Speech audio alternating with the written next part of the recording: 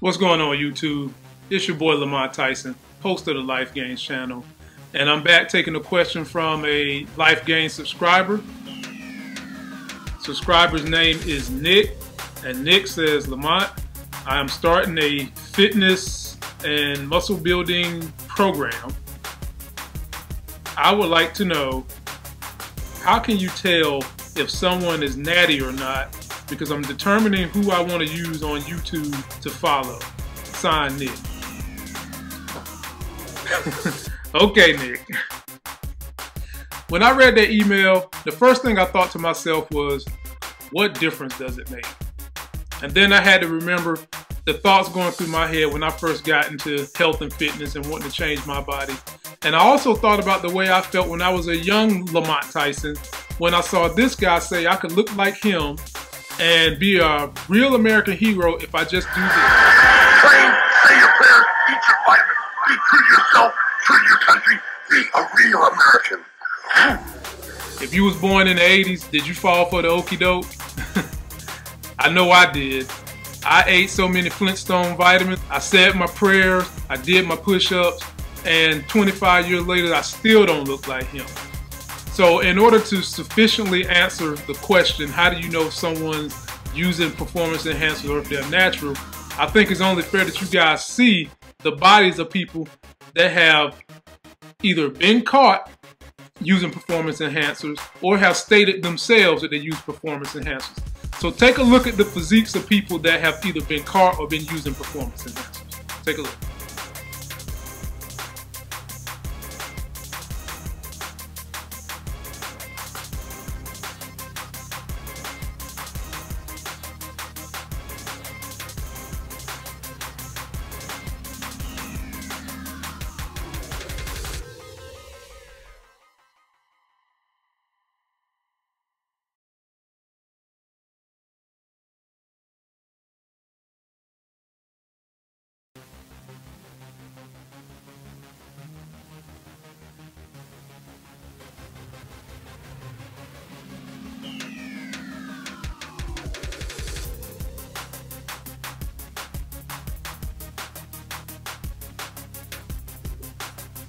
Okay, so you guys saw varying degrees of physiques and what they look like after using enhancers.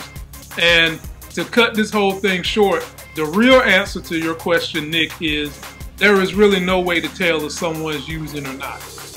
Unless you have a personal relationship with that person, you live with that person, you're around them 24 7, you have no idea who's using and who's not using. You can only go by their word.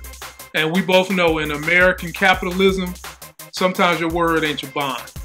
The best thing I can tell you and anyone else that's watching this video is if you're gonna engage in that behavior, which I'm not a proponent of it, because of the long-term effects of what happens when you use those things, know what you're doing. Um, really consider the long-term effects of using performance enhancers. Um, some of those long-term effects have been noted as far as um, catastrophic injuries, injuries to the heart, blah, blah, blah. Um, and when you come off of them, from what I've read and seen, it makes it harder to get back in shape and you're not going to retain all those gains.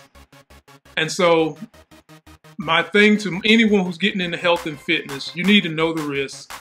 You need to understand that you want to concentrate more on what it is that you can do for yourself to make your physique look the best, whichever route you go. Just know the risk.